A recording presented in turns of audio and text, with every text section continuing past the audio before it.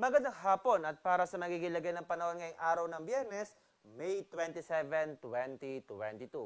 Makikita natin sa ating satellite imagery ang patuloy na kaulapang nakakapagto ngayon dito sa Visayas at Mindanao, dala pa rin yan ang Intertropical Convergence Zone. Kaya inaasahan natin ang maulap na papawiri na may kalat-kalat na pag-ulan at pagkulog dito sa Western Visayas, Zamboanga Peninsula at Palawan Province. Sa ito ngayong mga areas, uh, posibleng ulanin nga ngayong gabi ay ngayong hapon hanggang bukas. And over the rest of uh, over the rest of the country, inaasahan natin ang maaliwala sa panahon, maliban lamang yan sa mga isolated rain showers or thunderstorm. Sa ngayon, wala tayong binabantay ang anumang low pressure system or low pressure area, kaya within the next 3 to 5 days ay wala pa rin tayong inaasahang bagyo na maaaring mabuo o pumasok ng ating area of responsibility.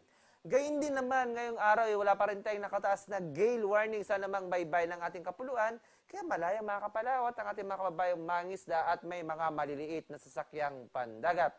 Asahan din natin ang banayad hanggang sa katamtamang pag-alo ng ating karagatan sa buong kapuluan.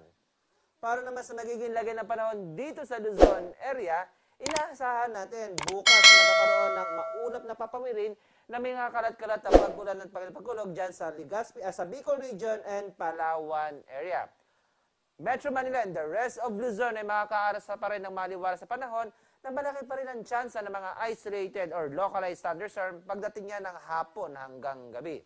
Agwat ng temperatura dyan sa Tugigaraw bukas ay mula 24 hanggang 33 degrees Celsius, 25 to 32 naman dyan sa Lawag area, Samantalang sa Baguio City ay mula 16 hanggang 25 degrees Celsius. Tagaytay uh, City bukas ang agwat ng temperatura ay mula 22 hanggang 30 degrees Celsius. Samantalang 26 to 31 dyan sa Legazpi City at dyan sa Puerto Princesa ay 26 to 31 at Kalayaan Island naman ay mula 27 hanggang 32 degrees Celsius. At dito sa Metro Manila, ang agwat ng temperatura ay mula 25 hanggang 33 degrees Celsius. Bahagyang pagbaba ng ating mga maximum temperature dahil pa rin sa pagtaas ng tsansa ng mga tagliang pagulan dito sa Luzon area. Sa mga kababayan naman natin dyan sa Kabisayan at Mindanao, patuloy pa rin ang maulat na papawirin na may kalat-kalat na pag-ulan at pag-gulog dyan sa Western Visayas. The rest of Visayas and the entire Mindanao naman ay makakaasa pa rin ng maaliwala sa panahon, maliban na lamang sa mga pulupulong mga pag-ulan o pagkidlat pagkulog. Ito nga mga localized thunderstorm ang pwedeng magdulot ng mga panandali ang pag-ulan sa malaking bahagi ng Kabisayan at Mindanao.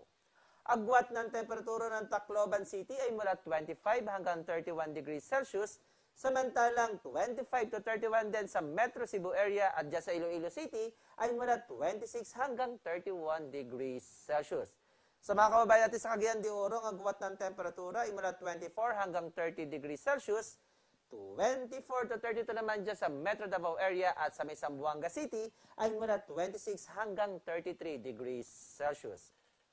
Para naman sa extended weather outlook natin sa papasok na susunod na linggo, inaasahan natin from Sunday to Tuesday dito sa Metro Manila ang patuloy na maliwalas at malinsangang panahon na may malaking tsansa pa rin ng mga isolated or localized thunderstorm. Agwat ng temperatura ay mula 25, uh, 24 to 33 degrees Celsius. Dito naman sa Baguio City, maaliwala sa panahon din ang inaasahan natin na may tsansa ng mga isolated localized afternoon thunderstorm. Agwat ng temperatura ay mula 16 hanggang 25 degrees Celsius.